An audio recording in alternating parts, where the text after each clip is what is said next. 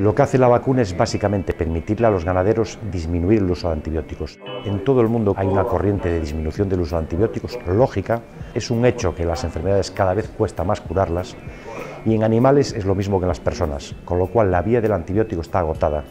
Es un gasto permanente las explotaciones y desgraciadamente los patógenos cada vez son más resistentes.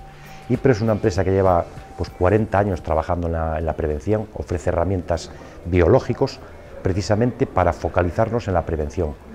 Tenemos que meterle en la cabeza de nuestros ganaderos que el dinero que se gasta en tratamientos es un dinero mal gastado. Si uno invierte en una vacuna como el Somni, se va a encontrar que van a disminuir drásticamente los casos de neumonía disminuirá el uso de antibióticos, disminuirá la carga de trabajo, no perderá animales y los animales crecerán mejor. La inversión en un biológico, en una vacuna en prevención, siempre es muchísimo más barato que la cura. Neumonías del ganado vacuno de recría son muy conocidas por el ganadero y las pérdidas son enormes. Primero, por los costos que significan de tratamiento y de mortalidad de la propia enfermedad. Las cifras de mortalidad, morbilidad, de afectación del ganado son muy parecidas en Europa y en América. Daña el crecimiento de, los terneros de engorde, produce pérdidas por mortalidad, por aumento de tratamientos, mano de obra, etc. Y en la recría de animales de leche, tres cuartos de lo mismo.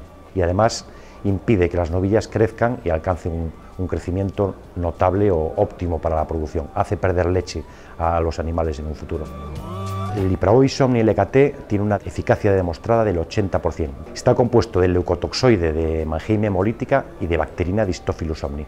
En las pruebas de registro hechas en la Agencia Europea del Medicamento disminuye más de un 50% las lesiones pulmonares en caso de enfermedad, más de un 50% el tejido que está afectado, más de un 50% los síntomas y la reducción de antibióticos, por tanto, es drástica. En las pruebas de registro y pruebas de campo realizadas hay una disminución en los animales vacunados de más del 70% de los tratamientos, hasta los 10 meses.